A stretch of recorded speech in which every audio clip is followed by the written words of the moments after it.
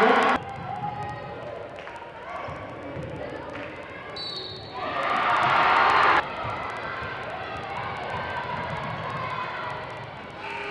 our athletes, it's uh, one of the more anaerobic workouts they do. So, uh, in terms of the energy demand, so you get pretty sore, especially if you're not used to it. Well, our word is Ohana, which means family. So I think we're a family. We represent a family, and I love them.